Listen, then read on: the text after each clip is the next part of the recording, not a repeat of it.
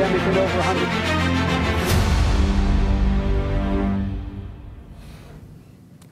二零二零年美国大选投票率超高，目前正处于计票的关键时刻。民主党总统候选人拜登成功拿下多个关键州数，目前已经掌握了两百六十四张选举人票，只要再拿下内华达就能胜选。不过内华达已经暂停计票，直到我国时间明天子夜十二点才会更新票数。另一方面呢，寻求连任的总统特朗普也在部分州属要求重新点票，甚至提出诉讼。这一届的美国总统大选盛况空前，出现大量邮寄选票，使得计票速度成了两边阵营的攻防重点。多个摇摆州持续点算票数，密歇根和威斯康星最终转蓝，加大民主党候选人拜登的胜算。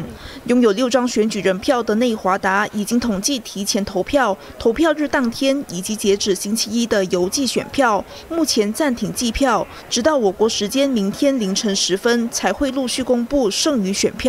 I can tell you that uh, we did read mail today that will be reported tomorrow in alignment with what the Secretary of State is reporting, and we'll have that information tomorrow on exactly what we have in house. We will also continue to receive mail. Uh, due, due, to statutory requirements, we have to continue to receive mail uh, that was uh, postmarked by November 3rd through the 10th of November, and cures are able uh, voters who need to cure their ballot have until November the 12th, which is a week from tomorrow. 目前以微弱之势暂时领先的拜登再次信心喊话，强调自己有信心胜选，而他也会履行总统职责，照顾全美国人的权益，并重申没有人可以剥夺美国人的民主价值。只要他成功当选总统，定会让美国各地各族群都团结起来。We the people will not be silenced. We, the people, will not be bullied.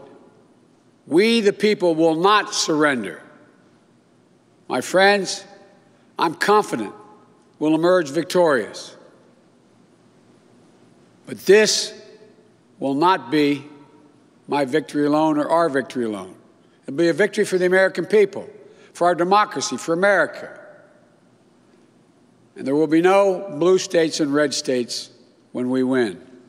Just the United States of America。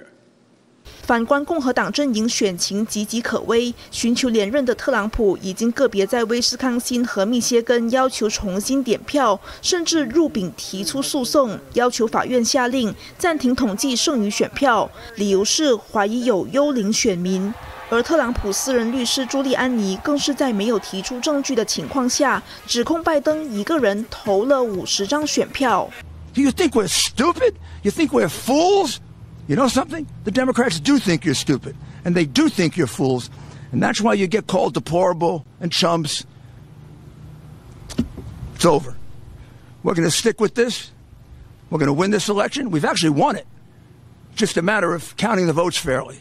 特朗普阵营剑指拜登以舞弊的方式夺取权力，而他们并不会让民主党如愿以偿，因为这场选举结果理应交由选民来定夺，到底谁才有资格担任下一任总统。